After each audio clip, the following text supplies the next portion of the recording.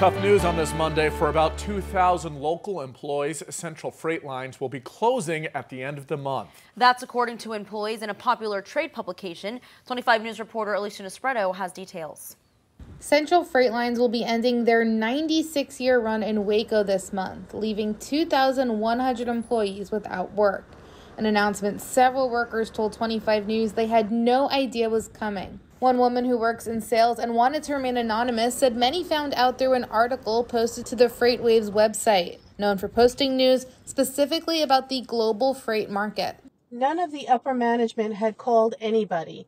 Nobody knew until we saw it on Facebook. The article cited too much debt and unpaid bills for the closure and said the company tried all available options to keep the doors open. Employees say they were still blindsided by the news. We knew there was trouble, but didn't know it was going to happen this soon. Like down the road, maybe a year or two, but not today. Upper management, they don't know what they're doing. Central Freight stopped accepting new shipments as of today and will finish the deliveries they had by December 20th just days before Christmas. The owner is worth $1 billion and almost 2,000 employees are going to get laid off by Christmas. Our families are not going to be able to have the Christmas they deserve. 25 News reached out to Central Freight, but they ended the call without comment. In Waco, Alicia Nespreto, 25 News.